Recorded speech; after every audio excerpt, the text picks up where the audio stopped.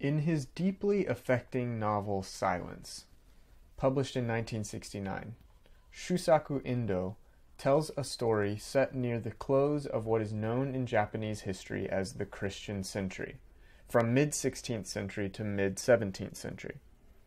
In the story, two Portuguese priests secretly enter a Japan that is viciously hostile to Christians and Christianity. For decades, the Japanese Empire has rooted out Christianity wherever it was hidden by whatever means were effective. Where once Christianity had begun to flourish, in the mid to late 16th century, it was now driven deeply underground, resulting in paranoid and secret pockets of Christians hidden around the country.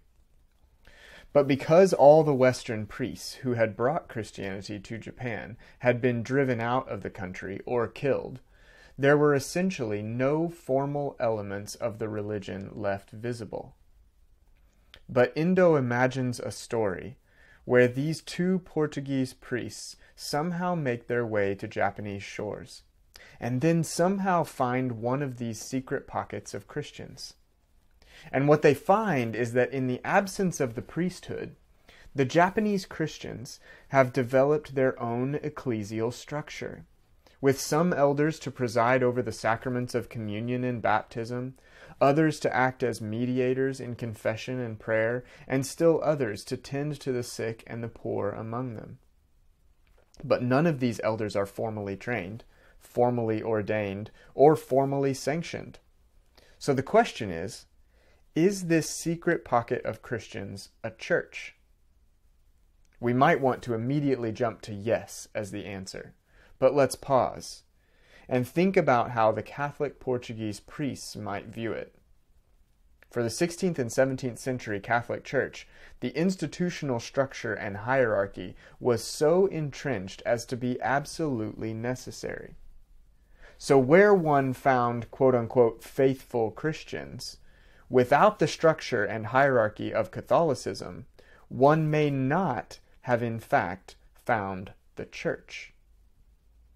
What I think we could say, and the reason I've started this lecture with reference to Endo's novel, is that such a secret pocket of Christians who have formed their own structure for church in the absence of any established structures is at the very least a new expression of church. This idea of new expressions of church is a good way for us to return to the question of ecclesiology at the end of this course. If you remember, we spent the first three weeks examining different models and marks for understanding the invisible and visible church. And we looked at the formation of the church as a social institution throughout the period known as Christendom. These were all classical inquiries of ecclesiology. Then, as the course went on, we moved into a more society based discussion of church traditions and contemporary issues, the church faces in 21st century America. We've even verged into ethical discussions over the past couple of weeks. But now we're returning to ecclesiology. And I want to pose the question is there a future in the church? Or is there a church in the future? This is a bit of a tongue in cheek sort of question, because I definitely think there is church in our future. But the question of what church looks like moving into the future has been hotly debated at the beginning of the 21st century. A number of factors, sociological, theological, and political, converged at the beginning of the 21st century, resulting in what many thought to be a dramatic shift in the church, even akin to the Great Schism between East and West in 1054 or the Protestant Reformation in the early 1500s. These factors included, but are not limited to, some of the trends we've discussed over the past few weeks postmodernism, polarization, technological revolution, etc. The dramatic shift at the beginning of the 21st century went by many names, but we will examine it under two of the most common the emerging church movement and fresh expressions.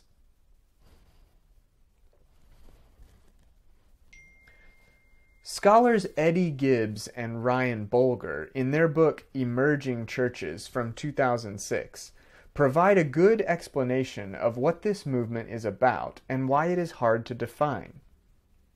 Emerging churches are not young adult services, Gen X churches, churches within a church, seeker churches, purpose driven or new paradigm churches, fundamentalist churches, or even evangelical churches. They are a new expression of church. You can hopefully see in this definition the connection to the story from the novel Silence. But you can also see that there are as many anti definitions here as positive ones.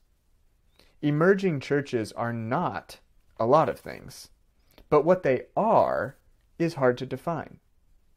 Gibbs and Bolger try to offer a positive definition as well. They identify three core practices of emerging churches in the first decade of the 21st century identifying with the life of Jesus, transforming secular space, and a commitment to community as a way of life. These new expressions of church were formed alongside, within, or even entirely separately from traditional expressions of church.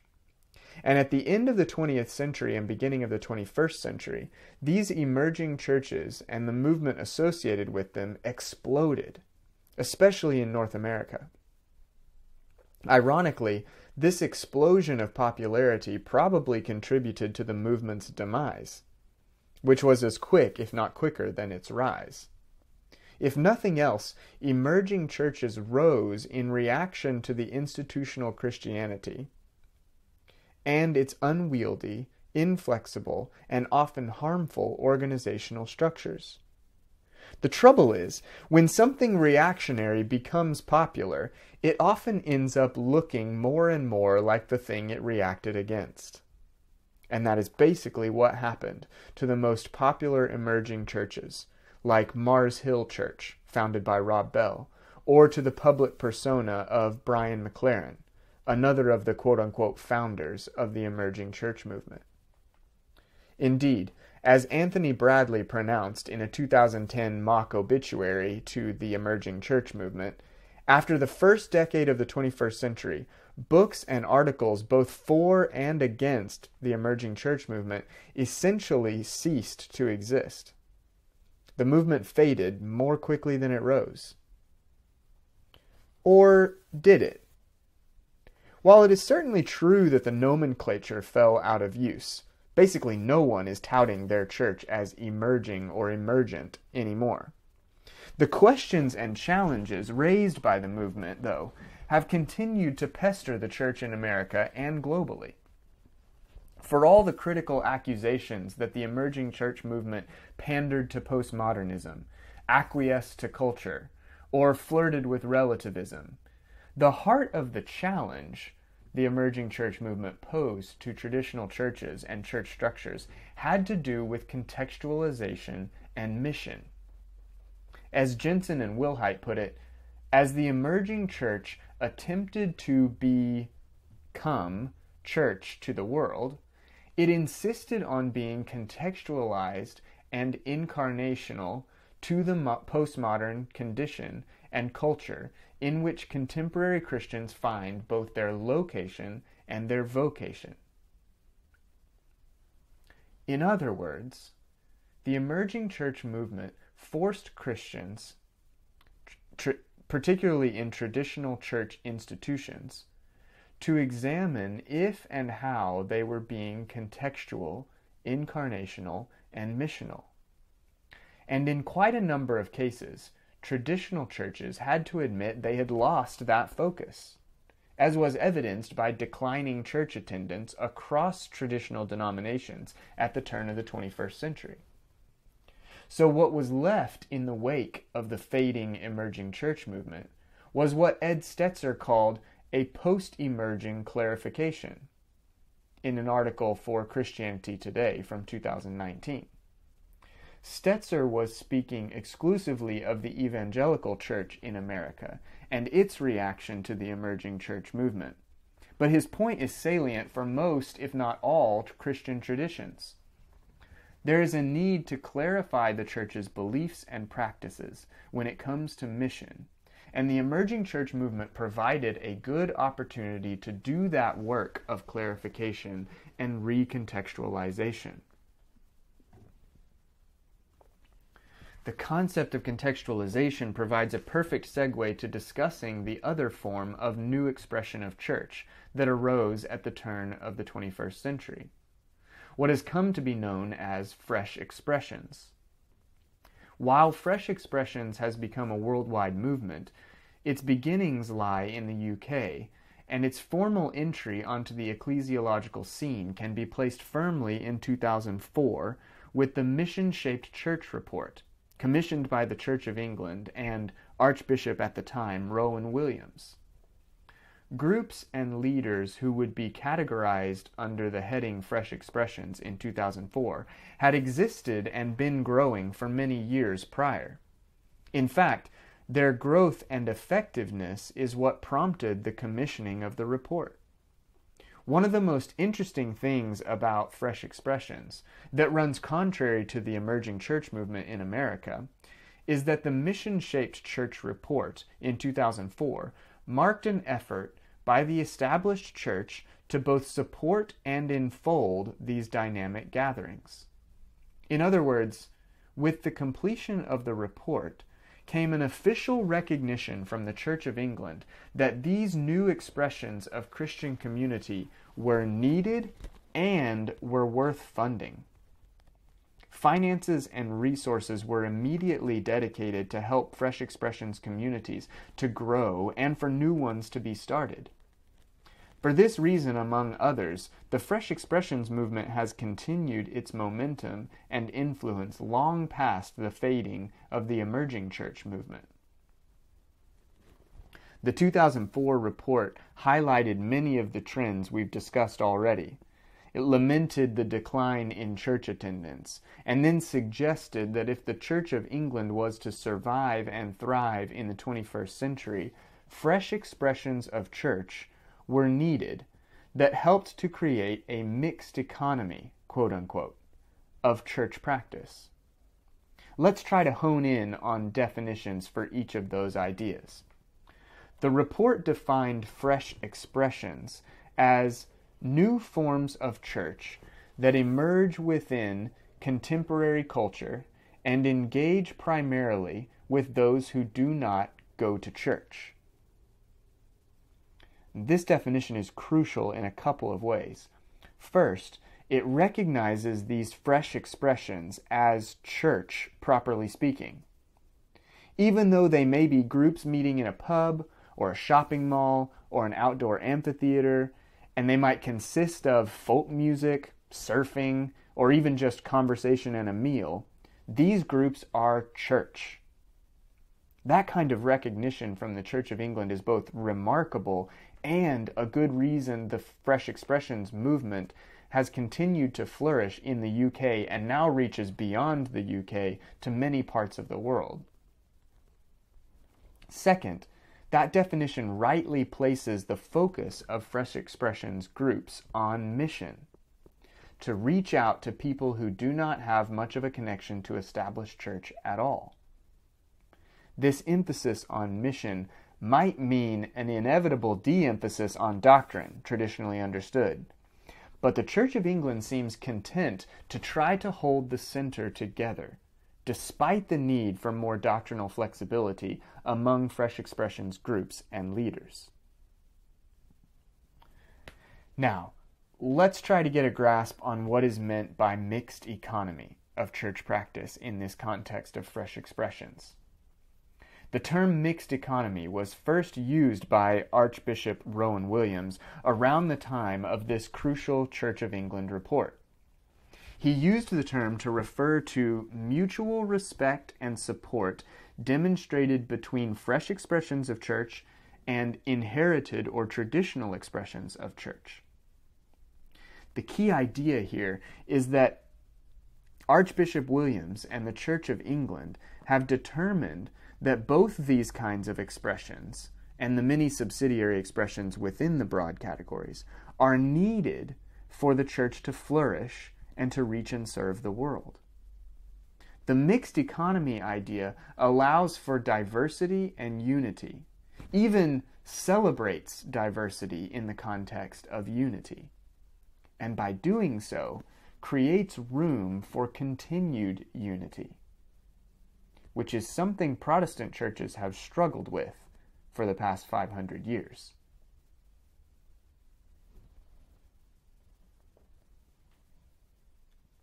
So, what is the future of the church? Or, maybe more to the point, is there a future for the church? Theologian Ephraim Radner provocatively suggested in a lecture in 2015 that there isn't a future for the church. At least not the church as we know it today or as we've known it in history. I would encourage you to check out his 15 minute lecture at this link starting at the 1830 mark, to see what he's talking about.